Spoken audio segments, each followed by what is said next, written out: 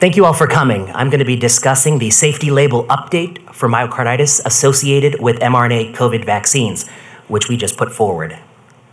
This came out on June 25th, 2025. The FDA approved a required updated warning, which is a class warning for all mRNA COVID 19 vaccines in conjunction with the manufacturers. I'm going to walk you through the, the updated warning and the basis for the warning. First of all, I'd like to thank David Kaslow and the vaccine team and Richard Forshee and the pharmacovigilance team for writing, coordinating, and deploying this safety label change. Also, like to note this SLC was initiated prior to my joining the agency. And note, I'm not using the FDA branch abbreviations in the hopes that this presentation will be more accessible to the general public. The updated safety label. The updated safety label for the mRNA COVID vaccines harmonizes the age range across products and adds additional data about the adverse event of myocarditis and what we know. It's based on two factors. It's based first on the unadjusted crude incident rate from the 2023 to 2024 formulation, and it's also based on persistent and concerning cardiac MR findings. So this is a slide that we put together. This is the FDA analysis of the BEST system, which is an observational data system that, that captures myocarditis and pericarditis following immediately afterwards, the first seven days, COVID-19 mRNA vaccination. And what you see here is that even in 2023, 2024, the last year for which we have data, you see a rate of myo and pericarditis of 8 out of a million in all persons in this age range. And in the highest risk demographic group, young men between the ages of 12 and 24, it's about 27 per million. Notably, the best data set does not allow us to disambiguate the risk by product, and as such, this is a class mRNA safety label. The second piece of evidence that is captured in the new safety label update is some concerning findings we've noted with late gadolinium enhancement. Now, late gadolinium enhancement is a radiographic abnormality seen on cardiac resonance imaging, and this is how it's been described prior to um, in the literature uh, in the context of myocarditis. Mild, sorry, patchy myocardial and focal subepicardial enhancement as an expression of potentially irreversible injury is how it's been described. The FDA notably funded a study led by Jain and colleagues in 2024, which showed a among hospitalized patients with COVID 19 induced myocarditis, a high proportion, the majority, had initial late gadolinium enhancement on cardiac MR. But most concerningly, at five months of follow up, 60% of these patients continued to have LGE. And our results for late gadolinium enhancement are consistent with many, many others, as I'll show you here. This was a study from Australia that followed post six months for post COVID 19 vaccine induced myocarditis, over half of the patients were still reporting symptoms. 67% had abnormal follow up cardiac MRs, and 35% showed what was listed as evidence of fibrosis. I did a quick systematic review pulling all uh, available publications documenting late gadolinium enhancement, and these are some takeaway summaries. Um, 92% is occurring in men, 90% have LGE at presentation, but most concerning, 72% have persistent LGE even months thereafter, very consistent with the FDA sponsored study.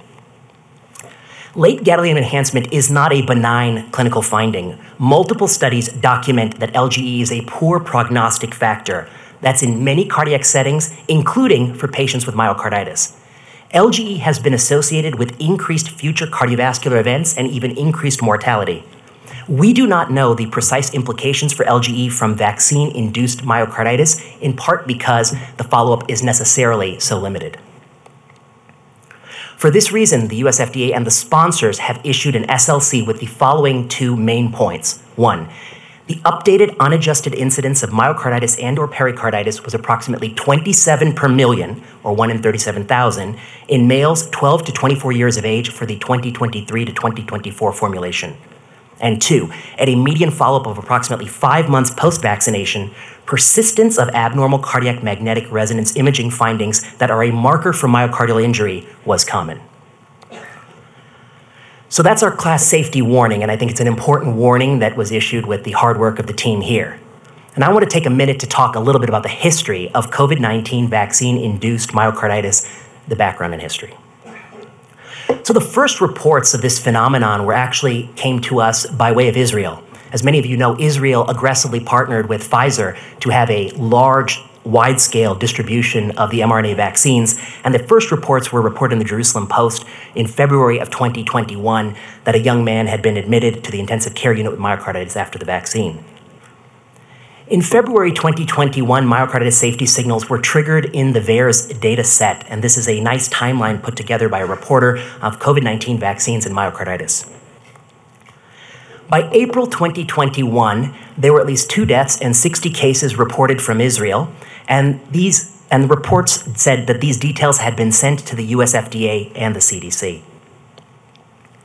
And yet, by April 27, 2021, then Centers for Disease Control and Prevention director said regarding this phenomenon, quote, "We have not seen a signal and we've actually looked intentionally for the signal in the over 200 million doses we've given." Yet at this time, the CDC was aware of 14 cases of post vaccine myocarditis reported by the Department of Defense. The Department of Defense would be one of the first to publish this phenomenon, myocarditis following immunization with mRNA COVID vaccines, among military members. And these early reports documented rather consistently an elevation in myocarditis risk, particularly to men, particularly for dose two. The CDC initially, in the first half of 2021, had planned a health alert network action, which ultimately was not released.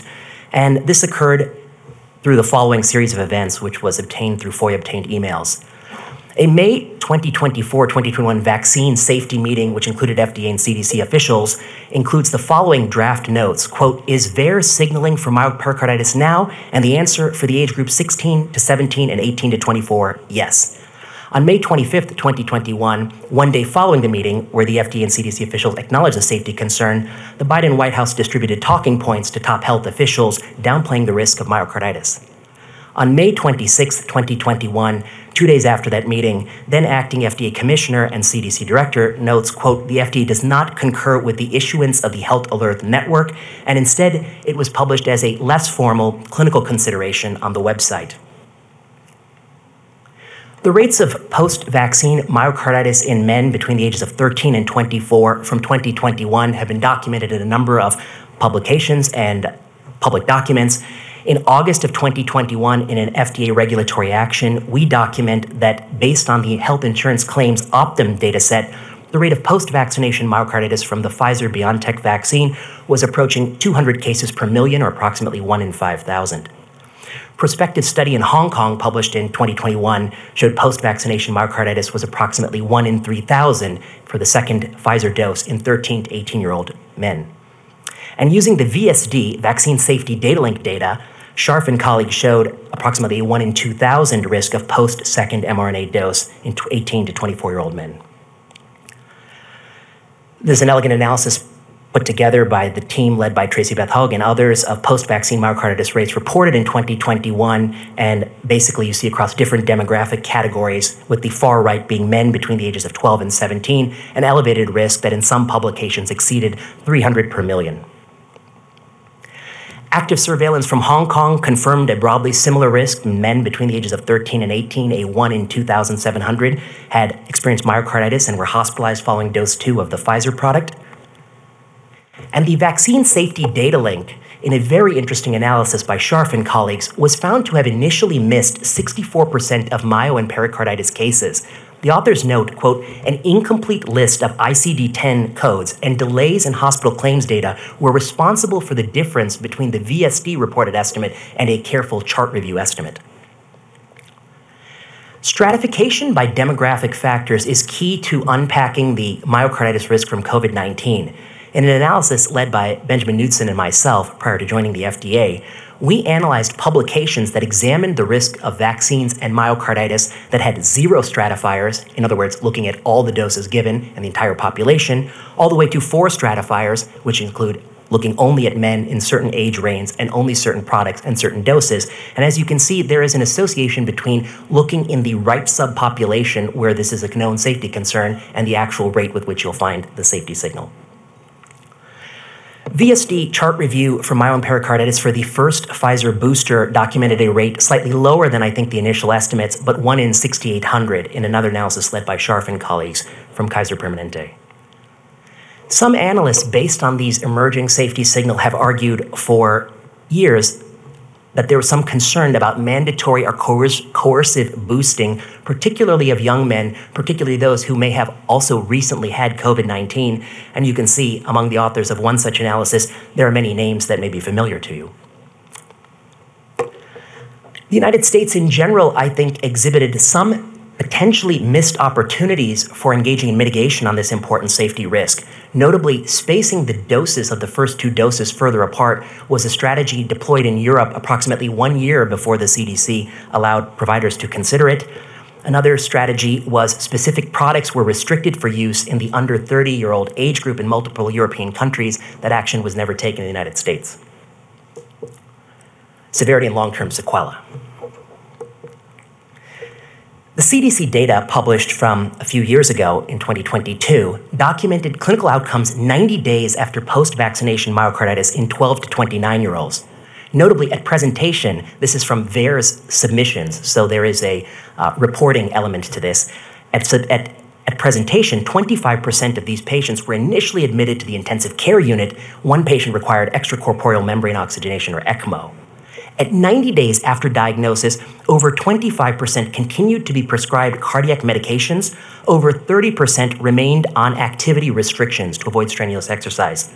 Over half of these patients had more than one persistent abnormality on cardiac MR. Only 66% of these patients were known to have fully recovered, and 17% had not fully recovered by three months. There have also been reports of deaths due to fulminant myocarditis. This is one report in the New England Journal of Medicine. There are several other reports. As is the case with all idiosyncratic adverse events, these are likely to exist on a spectrum. There's undoubtedly some people who have mild or subclinical myocarditis, and undoubtedly also some deaths may be implicated. And we, in our own sponsored data, find that 2% of hospitalized patients required inotropes. Myocarditis from vaccines is a distinct clinical entity, likely immunologically mediated. Many analysts have compared this vaccine induced myocarditis against myocarditis following COVID 19 infection. Yet, many of these studies failed to disambiguate myocarditis after COVID 19 infection versus troponin elevations seen in the setting of severe illness. Furthermore, patients many, can still get COVID 19 at some distance after vaccination, accepting the risks of both the vaccine product and the illness, though very likely the illness, the former, is mitigated, though also plausibly there may be a ceiling to that mitigation with additional doses. Hospitalizations from COVID often fail to disambiguate COVID 19 being the cause of hospitalization versus COVID 19 being a bystander diagnosed at hospitalization. The rates of COVID 19 severe outcomes are declining with widespread vaccine and natural immunity and the evolving nature of the virus. And as such, the FDA will perform a new benefit risk assessment in this target group to continue to reassess the benefit risk balance. Take home points. The FDA concludes that the 2023 to 2024 mRNA vaccines have an unadjusted crude risk of myocarditis of 27 per million in young men. This risk has persisted across all of the doses of the product that we've examined.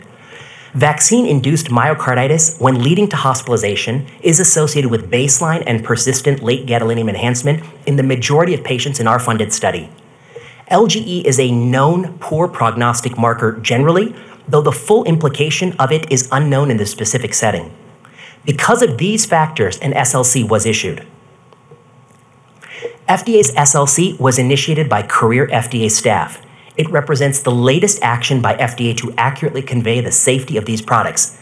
This may not be the final action, which is contingent on further data. The US FDA will not negotiate on safety.